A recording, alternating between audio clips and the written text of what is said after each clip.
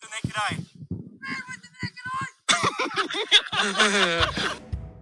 I don't know who you are, but welcome to the Irish Photography Podcast. Sit back, relax, and listen about cameras, gear, settings, stories, and all things photography. Join Darren on Ireland's Best Photography Podcast. Let's go.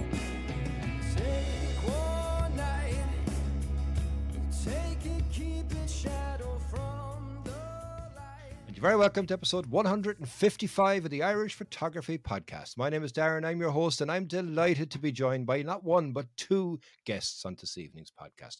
First guest, everybody will know him, probably sick of listening to him, but I don't think so because he's going to have some fantastic stories to tell. That's Mr. Bernard Geraghty. Bernard, how are you getting on, man? I'm very, very good, Darren. How are you? Great, boy. Great. Great to finally have you on the podcast. We'll we'll del- delve into how I tried to get you on the podcast a couple of weeks ago. And in a way, I'm glad that I didn't because now you can tell me all about these stories in relation to this trip. And secondly, I'm honored to have the one, the only Mr. Adrian Gray join us on the podcast. So, Adrian, welcome to the Irish Photography Podcast. Hi, Darren. Thanks a lot for inviting me. Uh, It's um, a great pleasure. Enjoy listening to you. And um, yeah, I'm looking forward to this. Good stuff. Good stuff. I'm looking forward to it too. You told me you didn't like listening to him.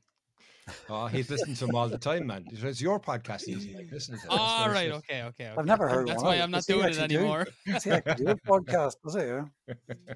I feel So like look- I feel like I'm on with my father. Actually, I feel like it's like Darren and it's like father and son. All right, yeah. I thought you were going to call me the father there for a second. It's okay. Yeah, Adrian, No, you I can said take father, not, not not grandfather. Oh my goodness. And this is what it's about. It's about the banter, it's about the crack. And lads, I'm really, really excited to have the crack and have the conversation this evening because um, let me get it right into it, right? So, Bernard, I had wanted to try and record a podcast with you, which was the Sunday showcase. And it was just when you were after going over on a trip to Lofoten. And unfortunately, things didn't line up in relation to it, so I couldn't get you on. And I'm delighted now because, like I said from the outset, you're able to tell me all about it retrospectively. Because if I got you on that first week, I think I probably would have missed out on a huge amount of stories that you're going to be able to uh, to tell. So it was, I think, the first big trip, but you also had another trip prior to that to Venice, which we had discussed when we did the uh, the podcast around Christmas. But this was the first real big international trip and a long term trip as well uh, for you. So first and foremost, really, how did it feel to travel once again? Uh, well, I suppose um, you know I was on just before Christmas about how I was feeling and all that kind of you know pre post COVID, if you can even say post COVID, and how it was affecting my mental health in a way. Not that I was in a really dark place, but um, you know, it's just it was such a surreal feeling to be kind of back flat out again. Um, so I suppose kind of continuing on a little bit from that last podcast, essentially going through the same kind of motions again, where you know at the I, I from mid December I had from mid mid December to mid January off. So there was that kind of lull again where you went from seeing loads of people to seeing no one. Um, and you know, given everyone was kind of keeping a low profile, COVID cases were spiking. Um, I was actually very sick for pretty much the whole Christmas period. My dog had to get a couple of op- few operations, so that kind of almost isolated me naturally. I didn't have COVID, but I just seemed to be sicker than everyone that had COVID. And then okay. kind of a, I kind of had to lean it. So I was leaving for five weeks in the Arctic um, on January 13th. So I said to myself, right, whatever amount of people I was seeing, I was still getting out and hiking and stuff like that. Um, I was testing twice a day, PCR test, antigen test, and I had not got COVID. So, um, you know, I said to myself, right, I need to set myself a timeline as to when I really see very few people before I go to Norway. Um, and I decided maybe kind of November or January and this fifth, sixth will be a right time, you know, seven, eight days before I go. Mhm. Um, and I was pretty much just here at home in my home place in Newbridge. And then what happened was I wasn't going to see anyone, only my parents. And then my dad got COVID and my mom had already had it. So I literally had to isolate from them. Wow. That was kind of tough. So automatically you're going into negative mode straight away. Your head is going 90. You're wondering, will the trips happen? Will you get COVID before a trip or whatever? Anyway, none of that happened. It was all good. It was the quietest and most enjoyable Christmas I've probably ever had. Um, it was absolutely amazing to have no plan um, and then prepare for five weeks in the Arctic. Mhm. Um, and it was my first time being away for a solid five weeks, just doing trip after trip after trip. And it was you're apprehensive, you know, will you have the energy levels? Will you have the enthusiasm? And uh, thankfully, it all worked out. Everything was just unbelievable, start to finish. Uh, tough start with weather in Lofoten um, for the first week. Unfortunately, you could say the group didn't get a roar. I mean, a tinsy bit, but not what I would expect from a trip, really. Mhm. Um, but we had amazing winter conditions, absolutely stunning winter conditions. Um, so it started slow, but I think then from the tur the second week all the way up to the fifth, um, I'll I'll let you ask more questions and we'll bring in Adrian in a few minutes to explain how how, how that went because he had four or five days in Lofoten with me, um, along then with a week on Senja Island as well. Okay, so I mean, look, absolutely, I can understand where you know the apprehensiveness would come from from the travel point of view, and particularly going away for so long as well. And I mean, look, yeah, you know, I think even from Adrian's point of view, and let's bring Adrian in in relation to this because getting to Lofoten is not exactly very straightforward. So, what was involved in you getting to Lofoten in the first instance, and how did you feel about traveling? Secondly, Yeah, so it involves um, three flights basically. Um, the last time we were Bernard, we took a ferry um, across from Bodo. Um, this time it was a flight, and we've done that flight before. It's in a very small aircraft, and you're always worried about fitting your camera bag on. mm-hmm. So it was Dublin Oslo, and then we had a stopover in Oslo, Oslo to Bodo, and then Bodo to Leknes. Um, and it's a small plane then that you have to try and get on with your camera bag from Bodo to Leknes. And unfortunately, I can still remember um, our flight was delayed coming into Bodo, and we just basically ran from one terminal or one gate to say a terminal. The place is tiny, straight across the corridor, basically onto the other flight. And I can still remember walking onto the plane and just thinking, I'm going to end up on the bench seat. I'm going to end up on the bench seat because with this plane, there's a bench seat at the very back, okay, which means if you end up in this bench seat, it's like a bus. You have nowhere to put your bag because the camera bag will not fit in the locker. gotcha. And I just kept seeing this coming, and I'm the last one on. I'm going to end up in this bench seat. So, yep, I ended up in the bench seat, camera bag in front of me, knowing, well, I'm going to end up in problems here. I can't fit the camera bag in the overhead locker. Mm-hmm. How am I going to explain this? So, of course, the, um, the stewardess comes down to me and starts going on, you know, you need to put that in the locker. So, well, it won't fit in the locker. She said, well, you can't, you can't have it here. I said, well, you just need to ask somebody to move. I've been through this before in this flight. You know, somebody else will move if you ask them. Mm-hmm. So she said, "Yeah, no, no, no, you shouldn't take this camera bag on. You know, this bag needs to go on the hold." And I'm going, "Well, I can't. I'm not going to take the flight. This camera bag can't go in the hold." Mm-hmm. So she got a bit uptight or whatever, and she stormed off. And I just turned around to the guy sitting beside me. He was obviously in a window seat, and I just, you know, they all speak English anyway, and just explained the situation and said, "Look, the camera bag will fit in underneath your seat if we swap seats." And um, lucky enough, the guy was very accommodating, and um, Nice. he moved because we've been in that situation before, and the same with the same airline and everything, and it shouldn't be a big deal. It's just unfortunate I ended up in this bench seat, and um, yeah, I had to get somebody else to move, and then she came down and gave me a long lecture again. when after she'd done her demonstration, just to make the point again, you know. But um, yeah, so that was quite stressful. Um, I wasn't overly happy about traveling. Uh, we were just talking about just before we started the podcast. And if for any reason at all somebody had said to me there was a reason why we couldn't travel, I would have jumped on it because I just wasn't happy traveling. Um, especially three flights, one after the other. Just Mhm.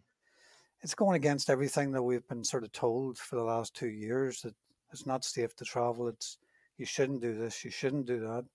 Um, and yeah, we have sort of followed the guidelines very strictly at work because we've got our own business and we had to try and keep it open and try and limit the number of people that are infected. So yeah, it was like your brain is it's, you're you're torn. That's how it felt.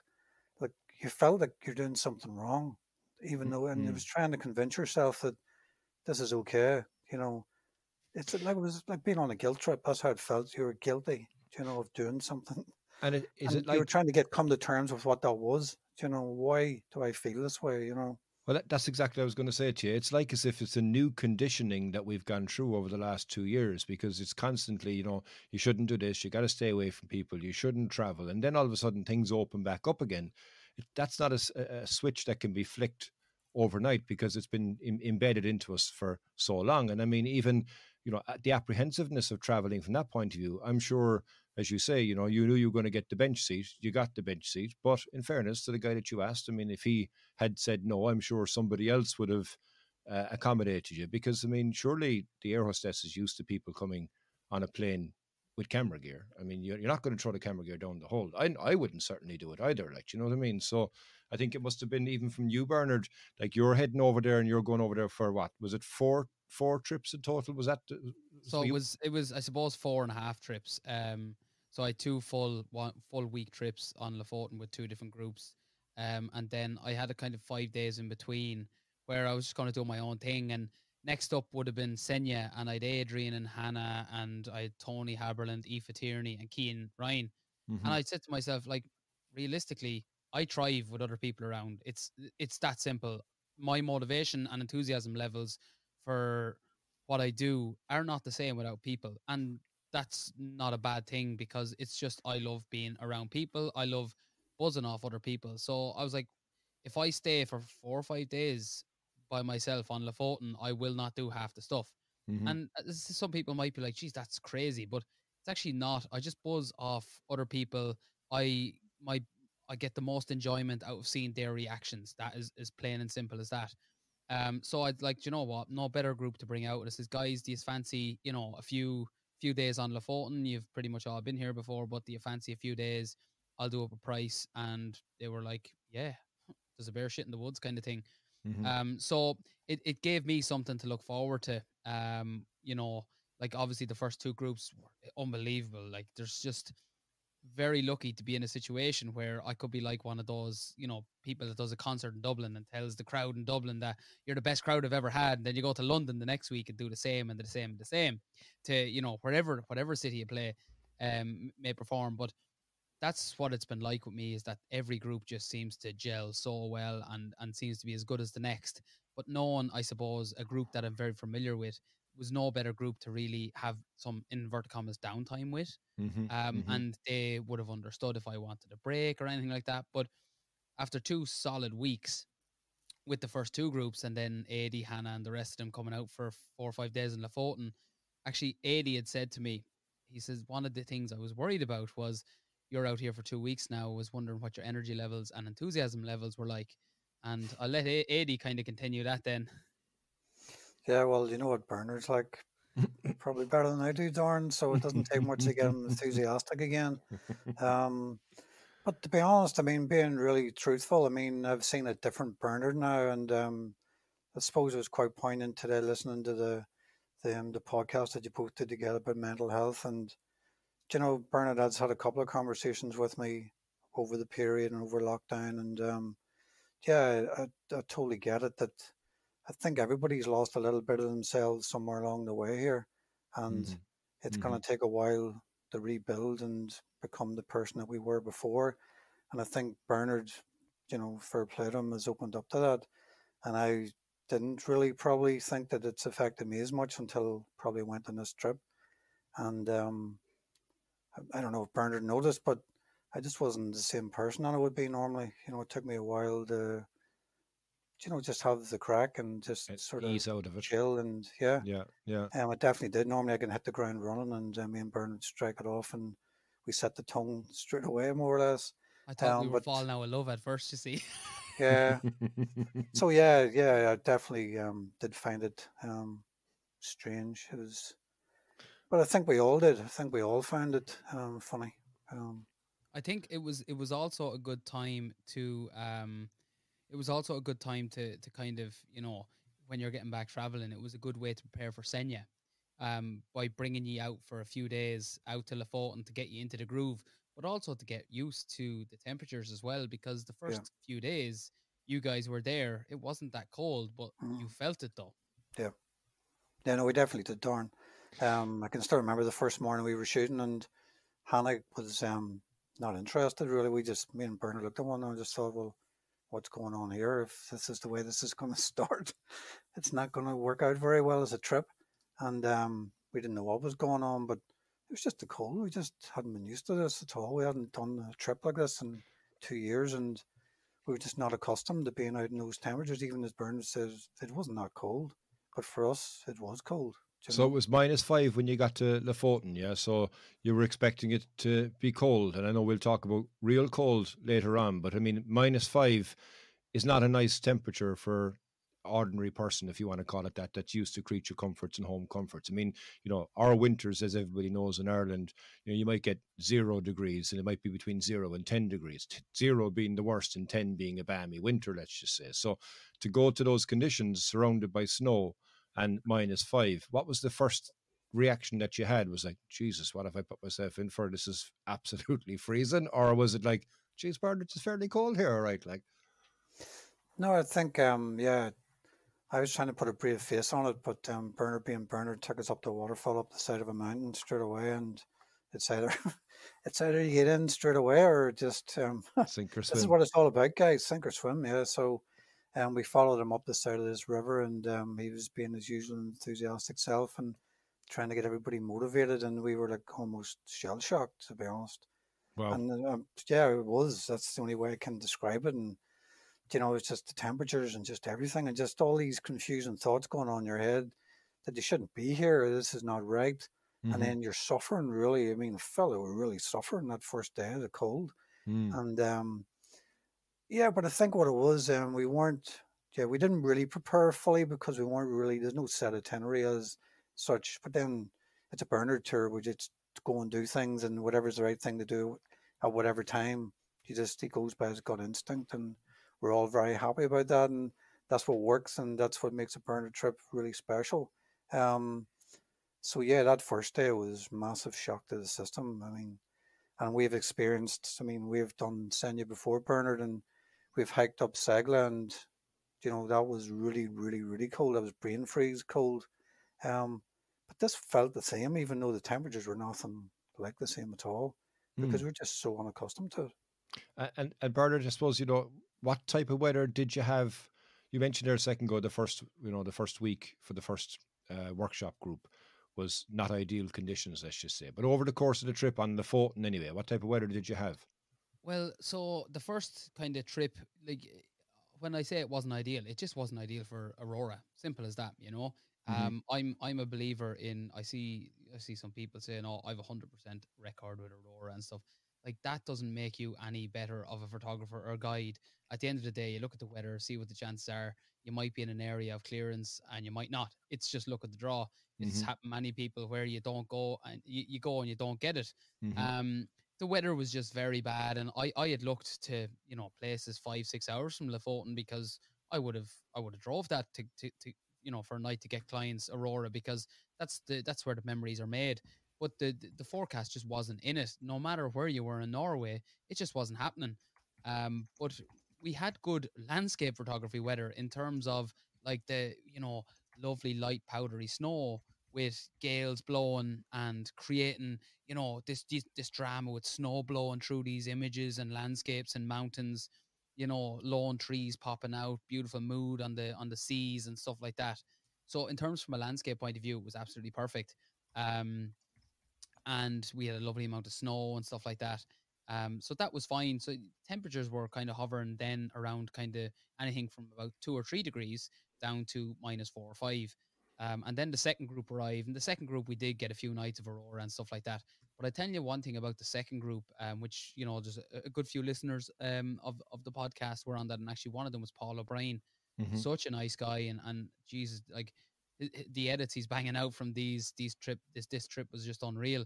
But he was on the second Lofoten group, and they arrived on the Thursday night, and then the Friday morning we went out and we went hell for leather. And I swear to God, I don't think I've seen a day of more pristine co- color, light conditions ever in nice. landscape photography. Like nice. every we we went to five places that day. Given how short the days are, we went to five places, and there was light, reflections, all sorts of mood, all happening in the one day, and I, have never seen anything like it. Um, mm. so that really got that group off to a good start. You know that that like and and the, the first actually group got off to a great start with kind of reflections as well. But just this particular day was just mental. You know, the whole five weeks, this was just if if if Carlsberg did days of landscape photography, this was it.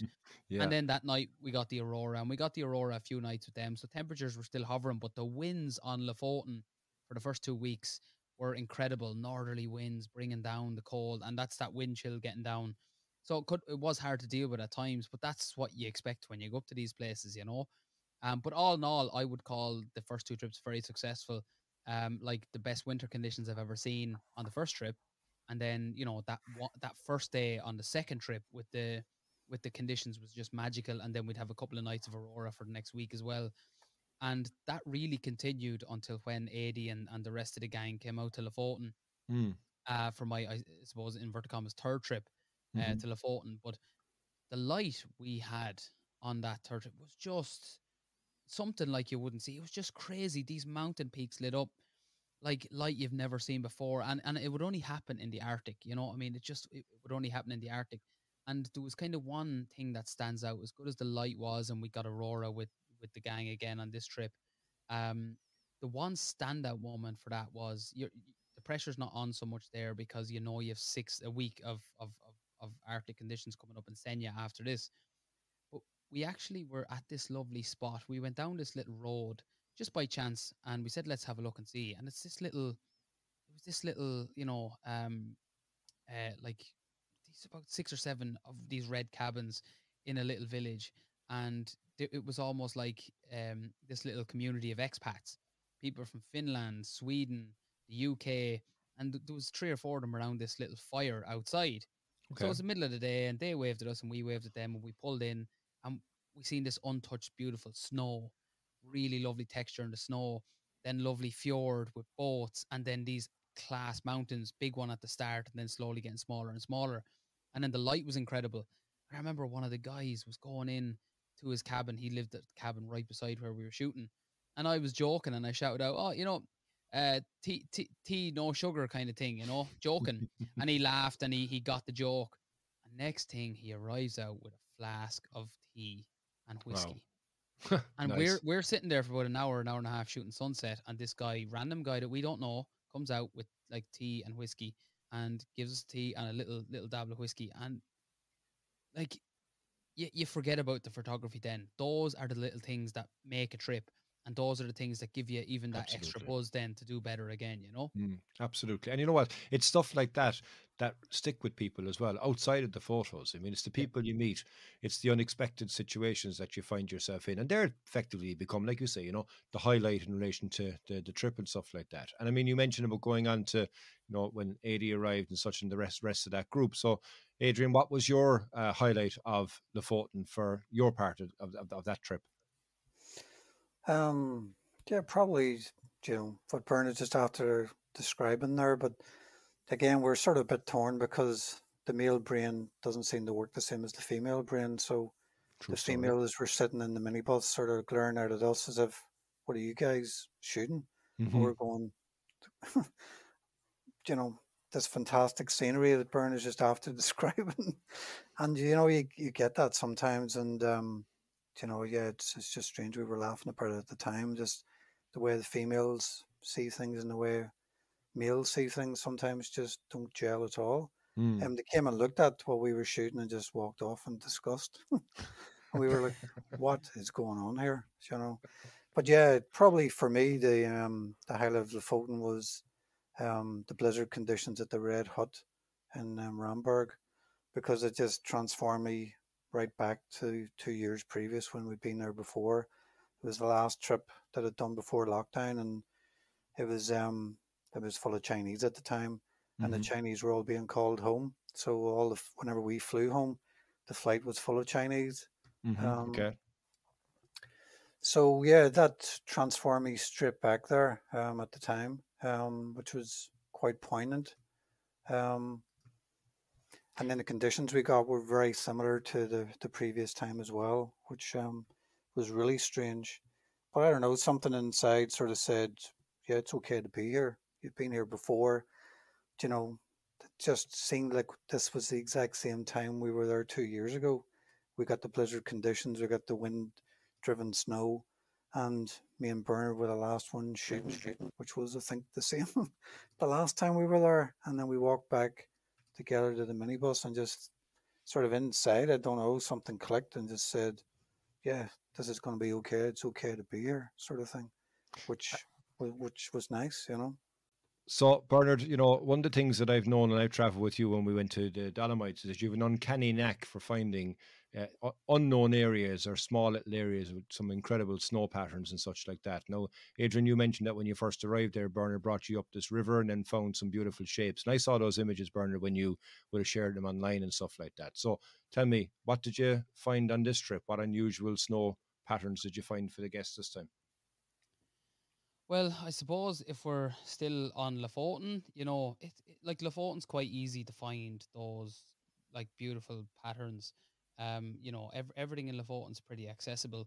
Um, I talk when you go out to Senja. Then Senja is quite similar to Lofoten, but it's it's more wi- wild. You know, mm-hmm. um, but in general, like up around that river and stuff like that was just stunning. And and it's it, it's a well known spot to some people. If you're kind of half fit, it's not it's not that bad of a jaunt up, but it's always worth walking up because you never know you never know what you're going to find, and it's great actually because when we went on the trip, um, a few months previous, I'd said to Adi, you know, like with lenses, Adi's a Sony user as well, and I was like, listen, this twelve twenty four, uh, G, the F four or the F two point eight, whichever, I've the F four one. I said is a game changer for landscape photography in terms of getting close to things. And um, I think you bought it, Adi, a few months ago, but it was only when you got to Lofoten you realized, wow, this lens is a game changer. Yeah, never actually got to use it. Bernard was the first time actually took it out of the, the case almost, you know, and never ever used it before. Um, but it, it just it just allows you to like having that wide angle, you know, in, in them kind of scenarios, allows you sure. to get very close to water, like and use every little inch of this possible you know, pattern or line in the snow. You know, especially if you've water mixed in, you can create really nice images. And the good thing with like a 12 mil lens is, um, so you can get real close. But if you if you're in portrait mode and you tilt that camera down a bit, the more you tilt down to get closer to your foreground subject, the more the mountain will actually spike up in the back. Yeah, you know, so yeah. which which is also gives a great effect. Um, I suppose in terms of you know like any kind of real unusual conditions, they really started um in in in Senja when we got to Senja then. Okay, right. We'll park Senja now because we're going to get to part two, and I, yep. Can't wait to hear all about that. I have two two other final questions, I suppose, in relation to Lofoten, and the first one is to you, Adrian. Right. So most people, I've never been to Lofoten, and it's, it's kind of a running joke on the podcast. I was supposed to go to Lofoten and never got to go there uh, at the time, but I can't wait to get there eventually, anyway. Right. But most people, when they're there, you know, they're taking the photograph on the bridge and they're taking the photographs of these beautiful red cabins, so picturesque and everything else. But you guys actually stayed in the red cabin. So what's it like to to stay in that area? I mean, you walk out the door and you've got beautiful water, ridiculously high mountains all around you, and they're lovely and warm as well, especially in relation to the cold. So, like, are they a great place to stay? Yeah, it's it's really heaven for landscape photographer. I mean, I mean, I don't see how anybody could ever get tired of looking at that. Mm, um, mm. But Bernard, funny when we were there and we were shooting on the bridge, I think Bernard said that, you know, quite well. We know the guy; he's been in Clubhouse and he's a famous enough photographer. Um, commented on Bernard said, "Would you not try and go somewhere else?"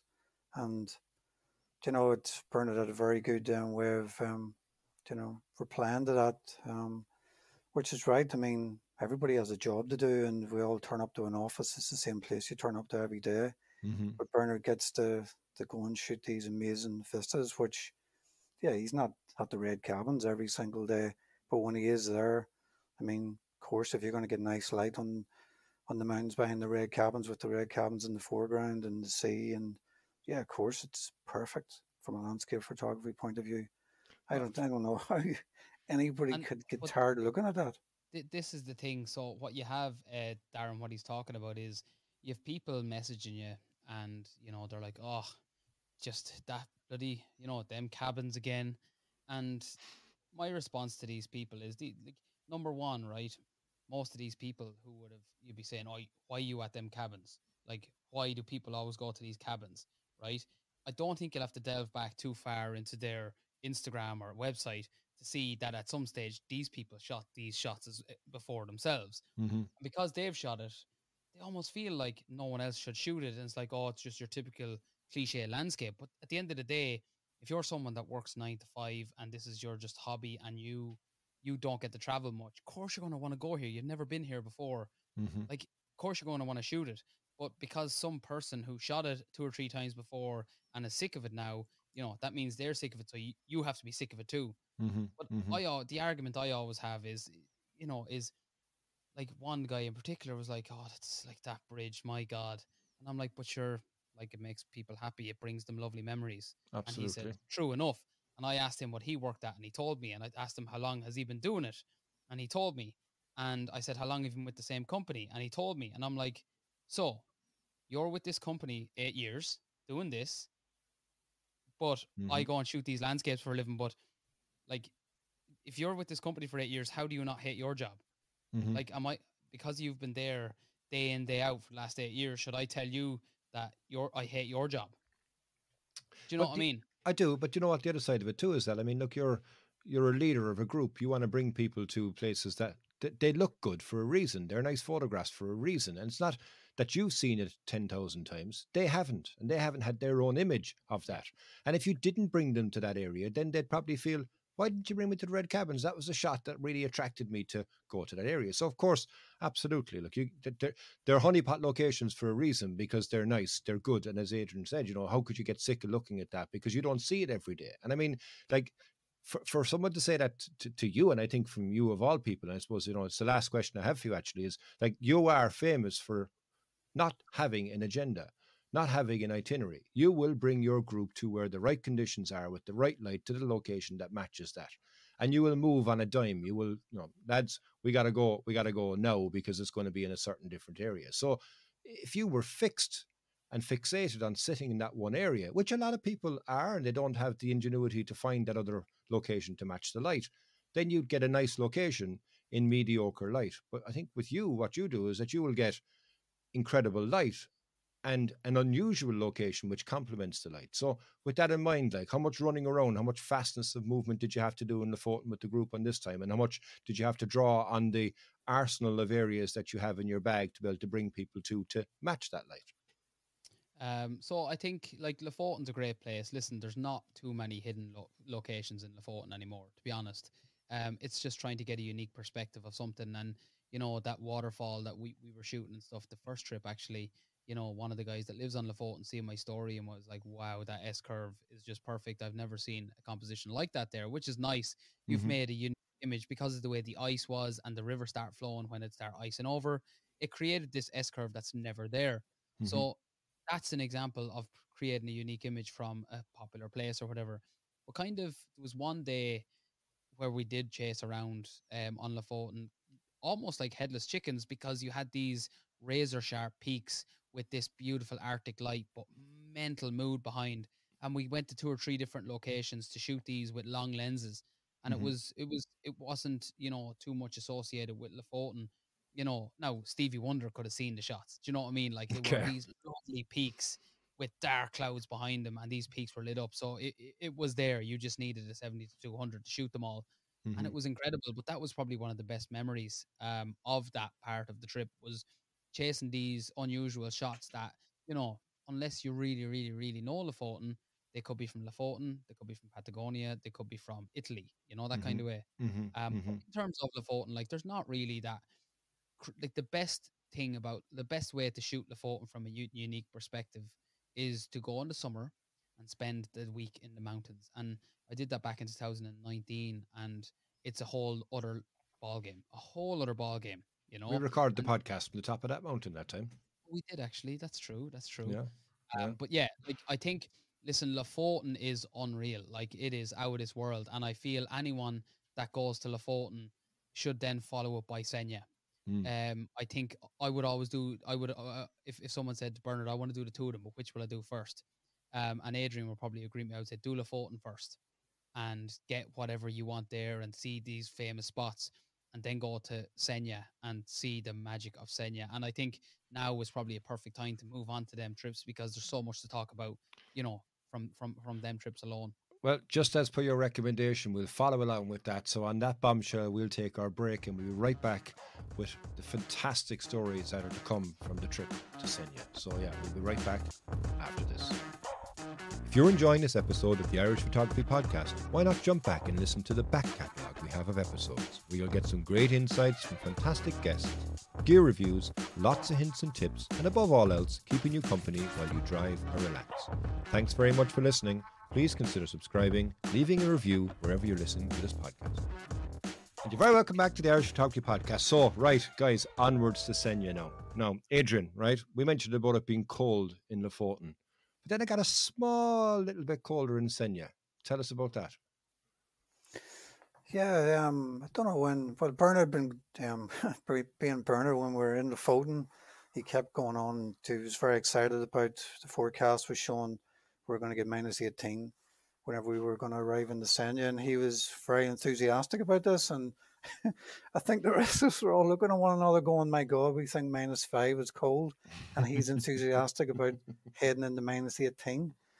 So um, yeah. yeah. I know that everybody else in the group key and everybody was like, "Oh my god, you know, this is going to be a shock to the system." Um, Can I go yeah, back so for a second? Can, sorry for interrupting. Can I go back for a second? Yeah. Just really quick. Sorry, Eddie. So Darren, what he means is go back to Lofoten just for two seconds. Yeah. I was keeping an eye on the weather for Senja. Sorry, I didn't explain that. Yeah. Um, on Windy, windy.com and I was like, for three or four days, like, oh my God, next week's minus 17, minus 18, minus 17, minus 18. And I kept going on and on and on and on about it. So you prepared them for that. Mm. But hmm. then what we got, you couldn't prepare for. Hmm. Continue. Mm. Yeah. Sorry. Yeah. I didn't um, give the backdrop properly. But yeah. Yeah. I mean, I think generally when you look at Tromso, I do think that's Senja, but then you know, we know that Tromso to Senja is what another two and a half hours, hours and you know the the difference in the climate is just it's unbelievable. Even from Bernard went to the shop one day, and the difference in temperature between going to the shop, which was only a good twenty minutes in the in the car, Bernard was what?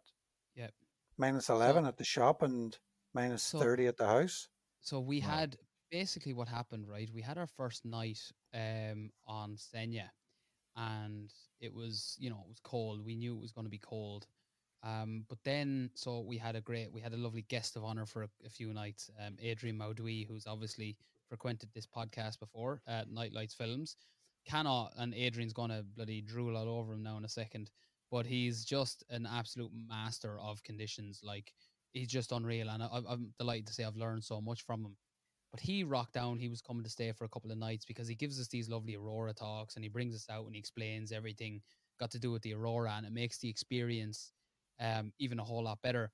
But he came anyway. We were all inside for the few hours and he came and he says, Wow, guys, it's so cold. It's like minus 25 outside or 20, 20 outside or something like that. And we're like, What? No way. Anyway, we went out that night into the car, and here says minus 23, minus 24, minus 25, minus 26 and we went down. So what happens was this shop that Adrian's talking about is just down by the fjord, it's down by seawater. It's 20 okay. minutes away, but where we were staying was right beside a frozen freshwater lake in oh, okay. the absolute wilderness and mountains. So where we were got down to minus 30. And then going from there down to the shop one day, it went from minus 30 to minus 10. So you had a 20 degree difference in 20 minutes. um, but like you know that it, it's it you're able to deal with it but when you're actually outside then we're shooting in this for four or five hours a night mm. and it was incredible i've never experienced anything like it um beard was freezing instantly tripods were freezing everyone was obviously freezing mm-hmm. um mm-hmm. Mm-hmm. but it was just it's the first time actually we realized that um bernard is human so even Bernard was feeling the cold. Even Bernard had gloves on, and we were all looking at one. God, this is cold. Bernard's actually Bernard's actually dressed up. yeah, he wasn't wearing his crocs. crocs. He was actually feeling the cold. It's the first time. That that was probably the highlight of the trip. Bernard is human. Bernard feels the cold too, don't you know? and come here, you, you mentioned there a second ago, you know, about uh, this trip, and you mentioned about Aurora, right? So, um, We'll talk about Adrian in a moment, uh, Adrian Mauduit. But tell me in relation to the activity that you had. I mean, man, your timing for this trip was just gifted. I mean, there was incredible aurora activity. Have you ever seen anything as strong as that in all the times you photographed aurora, or as consistent as that as well? Um, so when you know the first night was the activity was low enough, but we went out with Adrian, and again, it's just nice to have him there. And all of a sudden, he's like, "Right, guys, keep an eye south." Next thing, bang, south erupts. Okay, keep an eye west. Bang, five minutes west erupts. Everything he says just happens. You know, if he told the waters to part, they would part. um, so that was kind of a, a, a good start, and I think we went then the next night with him as well, and that just happened again. But it wasn't really, I think, until the third night, um, and we got it pretty much every, we got it every night on this trip. But the third night, then Adrian was gone back, and then you know it was solely up to me. Now, listen, Jesus, don't get me wrong, I can predict weather and aurora, but you know when Adrian's just done an amazing job, you know the pressure's on you a little bit to deliver, you know yourself without the help of Adrian. Mhm. Um, so yeah, it was kind of a case that right, guys, something could happen early tonight. We need to be in a position, uh, literally directly after sunset. And we shot sunset at the Dragon's Teeth, and the Dragon's Teeth, if you don't know, it's hard to explain, but basically mountains that are like Dragon's Teeth almost, that make a lovely backdrop to a lovely seascape image. Mhm. So we shot sunset there, and the light was just absolutely magic. So we decided then to, uh, after sunset, go food, go for food like ten minutes away, um, get food as quick as we can, and come back to the the, the Dragon's Teeth. So we went for food, and we got back out, and it wasn't even blue hour. Like you know, this, it takes time to get dark there because it's so far north. Mhm. Um, the sun moves at a very slow pace, but like we walked out and it was like dark. It was it was the sun was set about forty five minutes, and all we're seeing is this green all over the sky, and it's still bright, like literally bright. So of course we column around, then back to the Dragon's Teeth, you know, Mhm. Mhm. um, safely. You know, like you can you drive do. at a normal speed here, even though the roads are in bits because you have your your your, your studs or whatever. Mhm. Um, but uh, we got back to the Dragon's Teeth anyway, and you could see just the sunset glow in behind the whole scene. Yet we're all there, you know, on the on the on the rocks on the beach, and it's just all over the sky, green Wow. all over the sky, and it was just so surreal. It was it was you know two three hundred ISO, you know seascape images for a second or two seconds with aurora, seascape water, and sunset happening in the back almost wow. it was just unbelievable. And I suppose I let Adi take over then um, from I suppose what happened then, you know, when we kind of felt we'd shot that because we didn't want if we were at that location when the activity really kicked off, it would have been too high in the sky. Um, so that was time to move. So I let Adi maybe take the, the next one and to, to what happened then later that night. Sure. Yeah, so we went from there. and We weren't really sure what we well, we weren't really sure what was happening or where we were going to go after that. So we just started making our way, which wasn't too far to go to this um, viewpoint, which is up the side of this mountain. It's quite high up, and um, yeah, when we got up there, just things just started happening almost straight away, Bernard, didn't it? And Mm. but we didn't realize. I mean, it was very, very windy. It hadn't been windy when we were down shooting at the sea. Um, and then when we got up there, we just realized there was a storm coming in and it really was windy. And with that, it was very, very cold. So the wind chill was very, was very bad. But, um, yeah, the aurora really, we thought we'd seen a good display down at the, at the shore. And then, um, we realized with, um, once Bernard started going that, um, this was something special. And, um, yeah, we were shooting just non-stop then. Just oh, you had to hold on to your tripod. You just couldn't think because the wind got that strong. Um, it really was. You just could not let go of anything. And the display in front of us was just it's the best I've ever seen. And at the time, Bernard said as well, I don't think he'd ever seen anything any better. But then again, he bettered that again a few days later with um, Adrian again. But um, yeah, it was just the aurora was just really this this is a big area. We're looking down at this fjord, and I don't know how far across it is, but it's a big area, and the whole sky was just dancing Wow. um, with color. It was just incredible. But it, it just danced all night. Like it was, and, and so like Lionel Richie. literally all night long.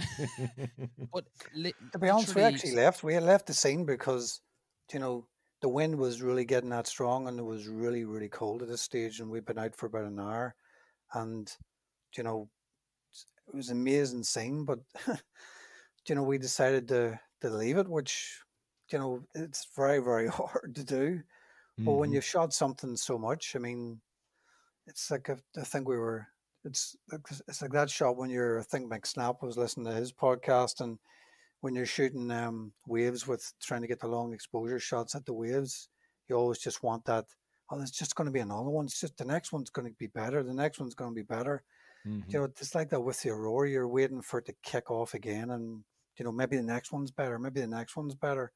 But um, yeah, it's just it's again, it's one of those moments in life that you're always going to cherish, and I've had quite a few of those with Bernard at this stage. So, um, And and speaking of moments to cherish, I mean, we've mentioned a second ago, you know, you got the opportunity to spend some time with the incredibly talented master of Aurora, Adrian Mauduit, aka Nightlight Films. Adrian, tell us what was it like uh, getting the masterclass from Adrian and sharing his knowledge and his presentation on the Aurora, and then not only that, but then seeing it afterwards with your own two eyes. Yeah, this is the second time I've met Adrian. Been very fortunate. The last time we were in Senja with Bernard, we met him then as well. I mean, the guy's just an absolute gent. Um, you know, he's very humble. Um, you know, but everything he says, you just hang on every word because it means something. Mm-hmm. He doesn't. He doesn't just talk for the sake of it. He's just. He's not one of those type of people. When he says something, you know, it's worth listening to. Mm-hmm. Um, we're very lucky he came and um, he gives a video um, demonstration or display of um, it's one of his it's his his webinar talk that he does and gives to people to try and get. I think it's more for tour leaders, people like Bernard. Not he would he wants everybody to understand the Aurora better so they can give a better experience for people who come to Nor- Norway and expect to get that experience and understand it more and you know try and read the apps and read you know what you can you know the stats and what you can expect to achieve from this that and the other. And he went through the whole science of it which i think he was surprised that we were able to keep up with it. Um i'm from like a scientific background myself so Okay. able to follow what he was what he was trying to say and the magnetic fields and how they affect the charged particles and why they need to be negative and because of the the north south pole and the direction of magnetic flux and all that sort of stuff. So I think he was a bit surprised that we'd kept up with him and we were asking quite intelligent questions. Well, minus me, fit by the way. Yeah, minus me. I, yeah, I'm, I'm not. just gonna say, yeah. And I, yeah, like like, just ev- everyone else except me. But that, that's the funny thing, Darren, isn't it? That you know I'm from the scientific background and I would understand and um, I was able to keep up with most of what he was talking about just from a theory point of view. But then it's okay having theory and um, okay knowing all that knowledge in your head somewhere. But can you really use it when the chips are down? And that's the difference, really. It's Hundred percent. just, you know, you can have all the theory in the world, but you know, Bernard gets aurora and Bernard gets conditions and Bernard can read what's going on and um, that's what makes a difference. But yeah, having Adrian there, I mean, it's just I don't know, you can't you can't explain what this guy's like. You can't. Um, I mean, he's completely different approach than Bernard. Um, um, but it's great that you have this like two total different contrasts. You know, two total different people, both top of their game, um, but for very different reasons. Like Bernard would never do be able to do what Adrian can do, and I don't mean that in any condescending way. I think Bernard knows that, and vice versa. Adrian could not do what Bernard could do. But it was Mm. great to see these two people gel But in a this is- common in a common entity, which is the aurora, the conditions, the love of being out shooting this. It was fantastic to see that how these two guys who are total polar opposites, really. If if you North want to look South at it, Pole. from- yeah, Yeah. polar opposites. Yeah, Aurora Borealis versus Aurora Australis. Go on, yeah. Seconds away. very good, Darren. Um, but yeah, I mean that's that was really nice to see how these two guys gel together. Um, and they really are completely different characters altogether. and and this is the beauty of it, of, of it as well. Like I've been become quite quite good friends with Adrian over the years, you know. Um, and and Darren, like what I said in the last podcast I did with the, you know, using social media. Stop giving out about it. Stop moaning about Agreed. algorithms. I would not know Adrian Mauduit if it wasn't for Instagram. So there you go, bang. That is one amazing reason to be on social media.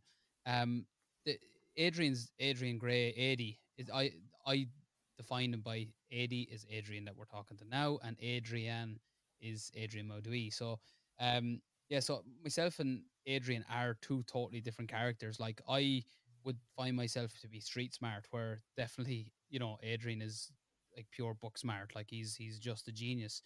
Um, but we collaborate so well, and it just always works out like a dream. And and the best way I can describe our relationship is, so if we kind of move on to the maybe the second trip, but we will just talk about Senja in general. Um, so basically, while I still had Adi and Hannah and Kean and uh, and Tony, um, my three of my four of the second group arrived, um, and the three women arrived together to stay for a few days early. But I was still with the first group, so Gotcha. I knew one night there was a chance of Aurora, and I didn't want the women to miss out. So I said, "Guys, do you want me to organize a workshop?" And they were like, "Please, please, please." So got in touch with Adrian. Will you do a workshop?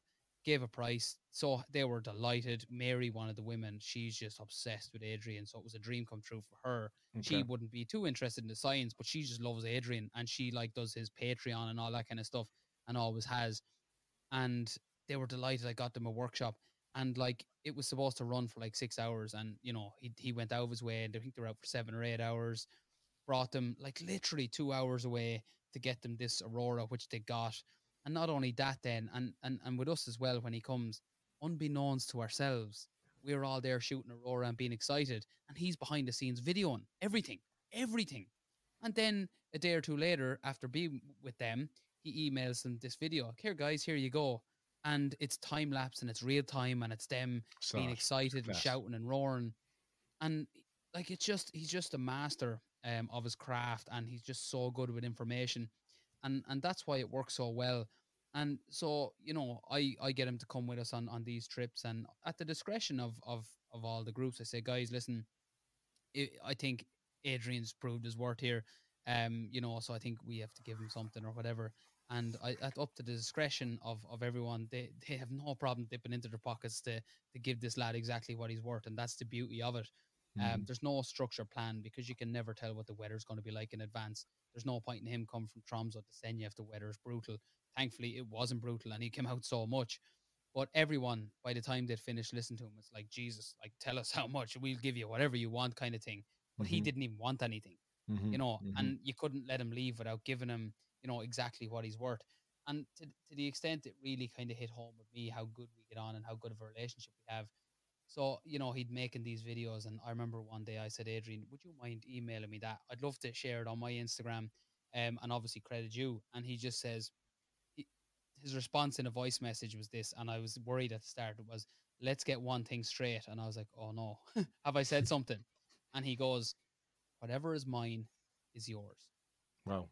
There you go. He says, You've helped me so much over this because we've helped each other out over COVID and stuff. You know, we both had tough COVIDs and stuff, so we helped each other out, both financially and, you know, from a friendship point of view. Absolutely. And that's, you know, there's so much respect there.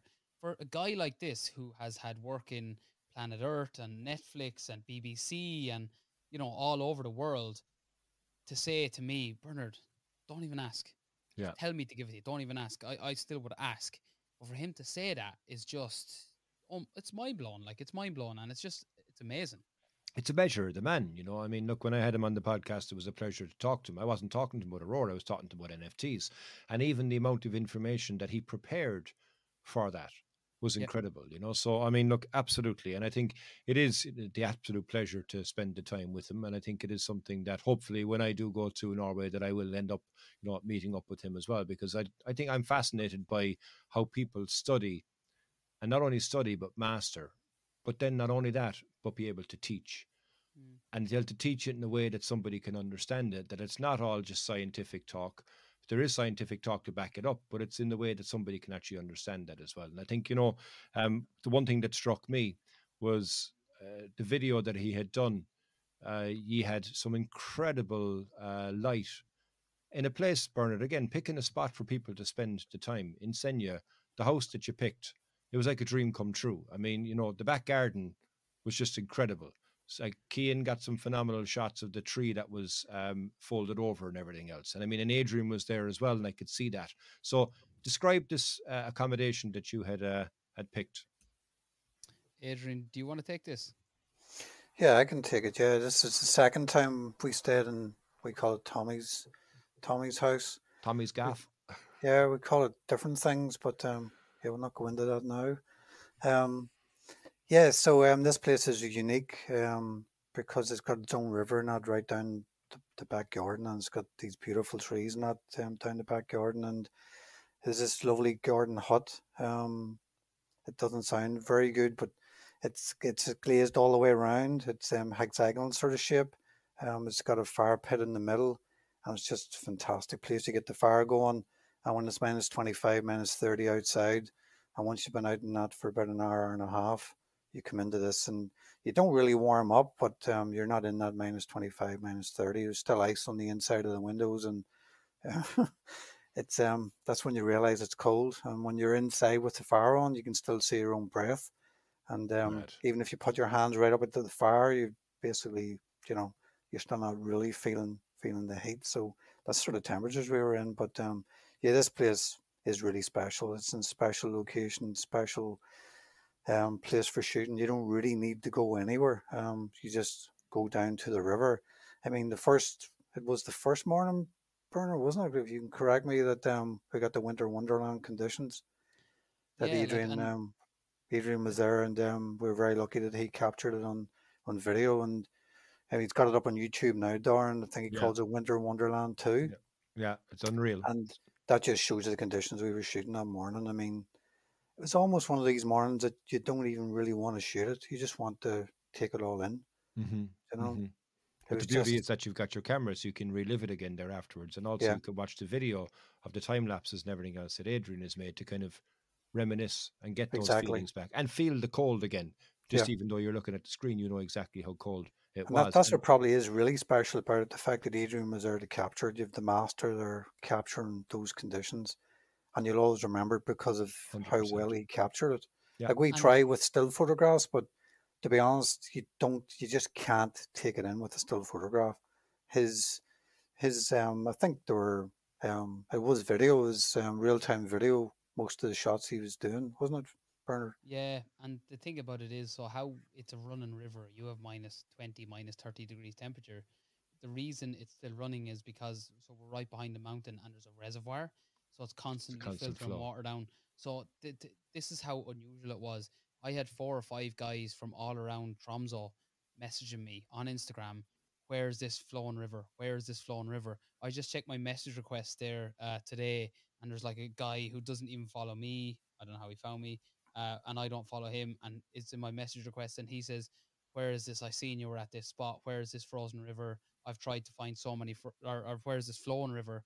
He says everything else is frozen, and the good thing is I can tell them till the cows come home, but it's on the private land. It's right in the garden, um, but it's it's magic, and it's funny because the f- of the first Senja trip, we spent the first three days we did not leave the house once, and it's funny because that's how good the conditions were within an acre right? The Yeah, conditions mad. were that good. We didn't have to leave it for sunrise. So what happened was sunrise came, the light came up, was creating these lovely contours of the untouched snow with the trees creating amazing shadows. When sunset came, the sunset was in a place along the river where it was creating mist and you had all these lawn trees. And then you had the river itself as lovely foreground interest for background of frozen trees. And then nighttime would fall, and all of a sudden you have this unbelievable aurora all over the sky. If we walk 500 meters down the road, we have a teepee and we have three or four of these more of these hexagonal huts, all untouched in the complete wilderness, not another photographer in sight. And that's the beauty of Senja. It's total wilderness. We've seen like three photographers, not groups, just three photographers. Well, I seen three photographers in the whole two weeks I was on Senja.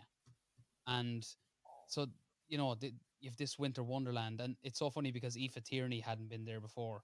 And she was like, after the second day, she's like, uh, when are we going to the fjords? And I'm like, don't worry, we will go to the fjords, but trust me, these conditions are too good to pass up.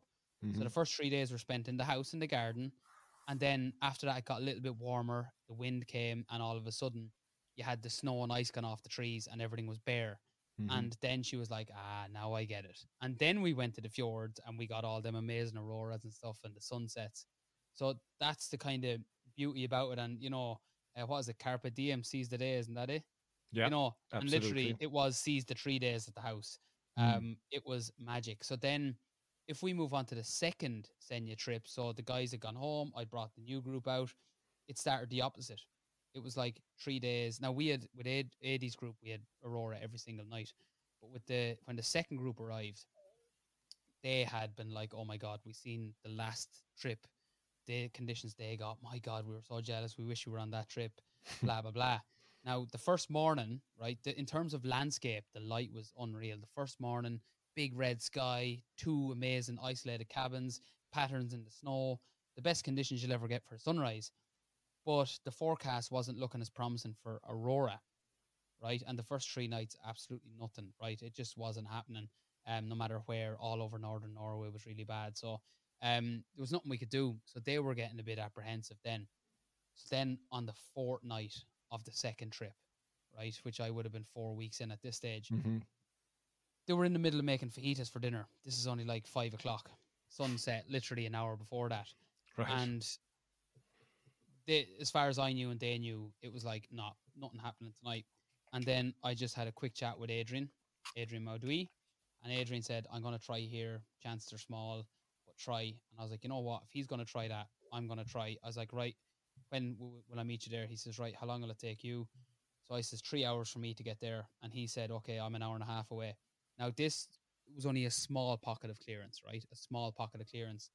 And I said to the guys, right, guys, forget dinner, stop everything, ready in five, go. And they're like, what? What? Like, can we have dinner first? I was like, no, no time for dinner. Go, get ready. We're gone. We'll stop Mhm. at the garage really quick. You can get whatever you want there, we've a long drive ahead of us. So basically, three hours in, um, like blizzard, white out conditions, wind, snow, sideways snow, trucks. Then because it's nighttime, there's more trucks on the road. Every time a truck passes, you're literally blind for five seconds. Like you're questioning everything. This is Mhm. not even an exaggeration. If you go back and look at my Instagram highlights, this is not an exaggeration. So three hours in this, it was catastrophic, right? So anyway, within we got three hours driving, we got to where we wanted to go, and Adrian, we met Adrian there, and you know we're chatting, and you know we're hoping this clearance is going to come within a few hours. Anyway, of saying it's going to come in a few hours, it just came. Right now, take into consideration when we were at this really windy viewpoint on the previous trip with Adi, Hannah, Keane, Aoife, and Tony, that was the best aurora I'd, I'd ever seen, and I'd seen aurora 50, 60 times. That was the best I'd ever seen. Never in a million years did I expect driving three hours that night for a probably 5% chance of clear skies, only for it to clear for about three hours. Never in a million years did I think I would see the best aurora I've ever seen on that night. It was just mind blowing.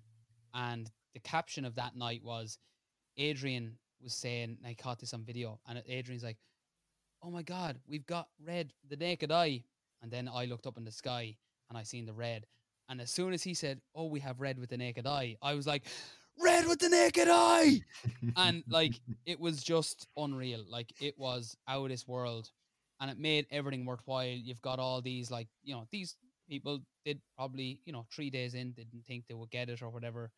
Anyway, we got it and it was just unbelievable. Little did we know the last two nights. Um, so you know, we two nights left after that. Again, three hour drive home. We had like nine kilometers of this is no joke, nine kilometers of about nine, ten inches of snow on the road. Hadn't been plowed because it was a back road down to our, our, our- house. So driving through literally 10, 9, 10 inches of snow all the way, hoping that you wouldn't stop or get stuck. And, you know, we got back or whatever. Little did we think then the next two nights we wouldn't have to leave the house again.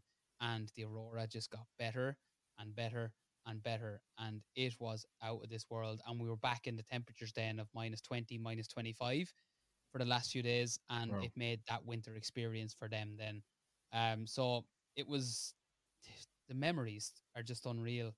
Um, the you know enthusiasm of everyone, everyone's just going crazy, and you've like some of them are close to tears, and you know like there was one stage actually where we where we did that drive for three hours, and Mark, um, he was there. It, it was just going crazy. It was going absolutely crazy, and for some reason, Mark, who's on the second trip, he decided to take out his phone but he obviously didn't realize that when he pressed record, the light of the phone came on, and I was Right. one side and Gillian was the other side, and I, I just felt so sorry for him. We were just like, turn off the light. And she actually was like nearly baiting him. I was like grabbing the phone off and to put it in my pocket to get rid of the light. And he was just like stuck in the middle of the two of us and didn't know what to do. Wow. And after after he was like, I don't know why I did that. But then again, like again, so like I, I'm gonna play something right now. I don't know if this is gonna play right. It I'll play it into the mic, and I hope that it's gonna be um, I hope it's gonna be uh, loud, right? But this was uh this was that time, so this is part of the video um that Adrian play, played, and he's like, oh, red with the naked eye, right? So hold on now. Red with the naked eye. So I don't know if that came true. It did, Um, yeah. So like it was crazy and everyone going crazy and the adrenaline and the enthusiasm of everyone. We knew we weren't going to get back that night till about four in the morning, five in the morning. And the best thing, best part about it was it meant I could get a lie on as well. Mhm, mhm. Um, it had been pretty intense five weeks, but it was a great way to finish up. You know, it's you know five weeks away. You know, the last few days are when your adrenaline should be at its lowest, all that kind of stuff. But yeah, little did I know that it would be picked right back up, and we'd end the trip on such a high that you know you almost don't want to leave. You don't want to leave, but you also want to get home as well, if you know what I mean. Absolutely, absolutely. So, Adi, which leads me to the question: Was it a trip of a lifetime? Yeah, it, um, I definitely think it was. It from from probably a lot of standpoints. Probably the main thing for me was we talked about earlier was just you know coming away from this COVID scenario where we haven't traveled for two years and to do so is wrong and that mindset. Um, so yeah, it was it was very good from that point of view. Um, the Just conditions. doctor ordered. Yep. Yeah. The conditions, yeah, I've never experienced anything like it. Um, I thought we'd experienced some cold conditions before, but you know, this was just another level, uh, minus 30. And that really made the trip. It really made it special. It really made it stand out.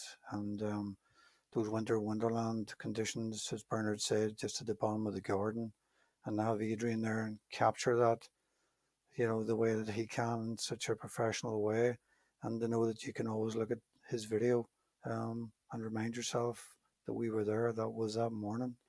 And in fairness, I've had a few very memorable times with Mr. Bernard Geraghty, and um, I hope that that will continue in the future. Um, but yeah, it, it was definitely um, a trip of a lifetime. I think anybody would have been more than happy to have been on this trip. Um, but I said to Bernard that um, Senja's a really um, I don't know what the right word describes Senja as a place. When you've been to Lofoten and you go to Senja, it's like, is this Norway still? It, it is Norway because you've got the mountains, the fjords, but from a landscape photography point of view, it's like two totally different genres almost. You know, you really have to tune in when you're in Senja. Whereas Lofoten, there's shots just popping out everywhere. I mean, if you can't shoot something in Lofoten, just give it up. Um, but Senja, you do have to work on it. And in fairness, um, you did say about snow patterns and that, and again, again, it's just I'm not tuned in, haven't been tuned in for the last two years with landscape photography, and I remember shooting again. Bernard us um, parked at the side of the road, went down into this field, and Bernard said, "Look, there's snow, be snow patterns down here beside these red cabins." And I'm going, sure, just shoot it with the 70 to 200 Bernard. Why are we going into the field? No, no, no, trust me, trust me um, the snow patterns down here, you're not going to get it. And um, we followed him in, and um, I was shooting into the sun, um, and Bernard, of course, just automatically goes in the opposite direction, and he's shooting and shouting over at me, "Do you know, if you got your 12 mil with you, yeah, yeah, yeah, get over here now." So I go over to where Bernard is, and just straight away, just see what he's shooting, and it's just yeah, snow, as you said, Darren, just these amazing patterns in the snow that he just seems to be like a bloodhound. He can just track these things. And I said to him afterwards, like, what brought you over there? Well, the sun was in that direction. You wanted to get your back to the sun. You wanted to do this. You wanted to do that. Do You know, blah, blah, blah. And it's going, yeah, well, that's the difference. I mean, yeah, I would consider myself tuned in to landscape photography, but I definitely was not in the zone on this trip. And Mhm, Bernard mhm. just, you know, really got me back into it again and got me the enthusiasm and, you know, that's what that's just getting your mojo back. Really, that's what it felt like this trip, and what a trip to be able to do it on, and with um, Bernard again, it's just always a pleasure. I think as well, I think, you know, um, when you're talking about the 12 mil lens there, I think it's important to know like that, you know, what that 12 mil lens can do, you know, and I think you kind of learned as you went along that, okay, this 12 mil isn't necessarily to get the extra bit of mountain in. It's actually more or less to get better foreground Foreground. um, yeah. allowing you to play. And and we had this, as I say, the sun wasn't necessarily at our back; it was kind of coming from the side, maybe you know, maybe even forty five degrees, and it was it was just like we had these patterns going towards these lovely um, cabins. But because the sun was coming from the side, it was it was like light on one side of the pattern and dark on the other. You and it's- it's- contrast, yeah. Dodge and burn porn is what I would call that, you know. Mhm. Um, but you know, one of the best parts of the trip was we we, we went off one day, and uh, I said to Adrian Mauduit, I says, "Are you coming with us?" And he goes, "No, I'm going to do a bit of shooting around the garden."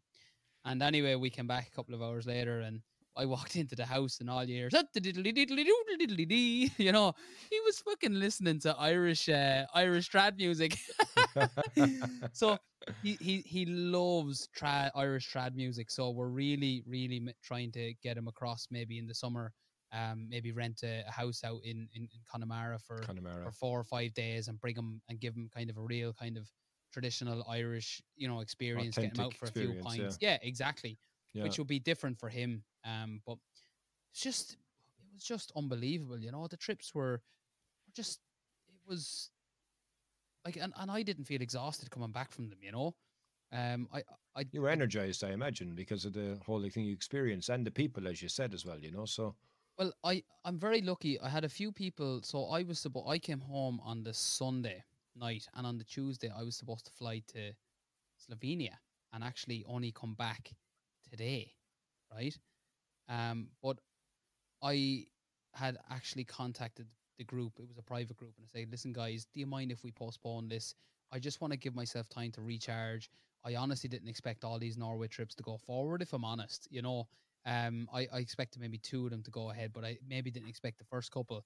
And they said, no, we can postpone, no problem. You know, we understand, and thanks for being open and honest with us. So like that gave me extra time to recuperate now for a couple of days' time going to Scotland. You know, mhm. um, mhm. because you do need that break. And I think pre-COVID, I definitely would have been like, go, go, go, go, go. But you have to take time to yourself. And Mhm. and like I think Adi's really appreciated. Okay, COVID's been here. You might lose your mojo or lose your enthusiasm, but you get it back. But also you need to respect yourself when you don't want to shoot with the camera. Don't force yourself to shoot with the camera. Um, take that break when you can. And we spoke about this weekend. We had Storm, Franklin, and Eunice and Dudley, and myself and Adi talked numerous times about it. But now, luckily, the best swell was in the middle of the night too. But I just had so much little things to do that I'm I'm glad I didn't go and shoot them. You know, I, I just don't it, it couldn't justify driving all the way across. You know, for probably shots I've had already. You know that kind of way. Mhm. So I think you do have to take a step back and and realize number one, if you've lost that little bit of enthusiasm, is it takes time to get back. But also, when you get it back, don't go hell for leather. Don't wear yourself out. Don't burn yourself out. Just everything in moderation. You know. Yeah, look, I mean, it's like recharging your batteries and then putting your foot all the way down fully on the pedal and the battery is gone again so quickly. You know, I mean, like Yeah. a Bugatti Veyron is a phenomenal car, but flat out, you'll go through a tank of gas in a short period of time. You know, enjoy the ride. You don't have to go from zero to 200 miles an hour all the time, like, you know. Um, and speaking of going zero to 200 miles an hour, people get to get multiple flights to be able to get over, obviously, to, uh, to, to, to Norway. So you're booked out for 2023, but people can go in 2024, can they? Uh yeah, I've booked Lofoten. Yeah, I've my two Lofoten trips for 2023 are sold out. Um, I have actually just literally tonight added a second Senja one, um, with just one spot left already, and it's not been advertised yet. But that's probably, I hope, will be sold by the time this goes out. Mhm. Um, but yeah, like, and and this is it too. Like, I'm I'm gonna start really slowing down. I I have pla ways in which I want to restructure my business that I'm not traveling 24 seven. 365 all that kind of stuff i want to start spending more time at home you know working on friendships relationships um family time dog Mhm. time all that kind of stuff um so like it's it's going to become less and less and my my my kind of concentration is going to work on bringing people into ireland i'll still do Mhm. the traveling but the trips will be more limited um so kind of next year is the last big year of of, of these big trips um you know being you know more frequent. If you know what I mean, it'll Gotcha. probably just be one in Nor, one in Senja, one in Lofoten, one in Scotland, one in Slovenia, instead of two, two, two, two, two. You know. Mm-hmm. Um, So yeah, things are going really well. Uh, busy, busy year ahead. Um, you know, Scotland coming up this week, Iceland the week after, a couple of weeks back in Ireland, Iceland again. So it's uh, it's going to be busy. Um, but it's amazing how quick. You know, we're nearly in March already. You know. Nearly, yeah, absolutely. And I suppose, Adi, from your point of view now, I mean, what's next for you? Have you another trip booked? Are you going to uh, give a brave a break for a bit? Or are you going to go, do you know what? No, I'm going again. Um, you need to ask Mr. Geraghty about that. Um, yeah, we've quite a few trips booked. Um, Brilliant. quite quite a few um, amazing locations that we're hoping to get to. Um, we missed quite a few over the last two years that we had pre-booked with Bernard. Um, one was a trip to Botswana and, and Namib, um, Nice. which was going to be um, a wedding anniversary present to ourselves, myself and Hannah. Um, that was going to be really something special, so we're looking forward to trying to fit that in. And we were just in a group message with the other guy who's going on that this evening, so hopefully Flo- we can. Flo- and again, I don't- Oh, I Flo, don't- yeah, yeah. Yeah, yeah, Flo, yeah, who um yeah, he seems like a real character. Um so yeah, at the same time I don't want to be putting Bernard under pressure. I said that to him already. He's got enough going on. Um when we get there, we get there. Um but yeah, it'd be nice to do that. I think we've Patagonia on the list as well. New Zealand was on the list.